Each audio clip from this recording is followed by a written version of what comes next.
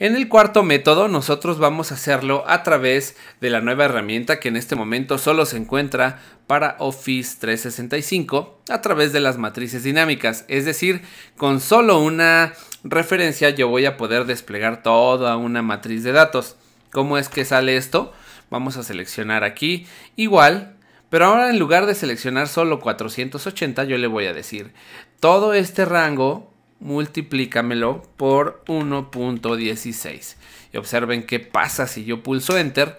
Si yo pulso Enter, de manera rápida se me despliegan todos los datos con un contorno de color azul, lo que me indica que este resultado es parte de un cálculo realizado a través de matrices dinámicas de un rango de desbordamiento mismo que ya he platicado dentro de algunos videos de este canal si les interesa conocer más sobre matrices dinámicas, les voy a dejar el enlace aquí en esta descripción del video para que ustedes vean de qué se trata esta nueva herramienta fabulosa de las matrices dinámicas.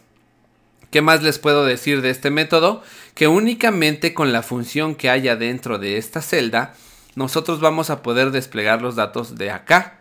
Observen que si yo hago doble clic aquí, aquí no hay nada de fórmulas, asimismo en cualquiera de las celdas que nosotros tenemos acá.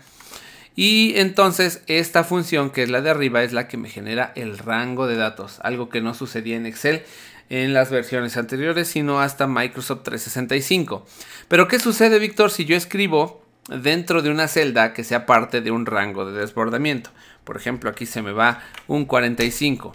Cuando yo pongo este 45, me va a aparecer este error que se llama desbordamiento, lo que me está indicando que yo escribí en una celda que tenía un valor como parte del rango de desbordamiento. ¿Cómo se va a corregir este error? Eliminando el texto que yo tengo en ese rango de desbordamiento, lo voy a eliminar y en cuanto lo elimino, nuevamente me regresan los valores que yo tenía en esas celdas. Entonces con esto yo puedo crear o copiar las funciones o desplegar una matriz a través de matrices dinámicas.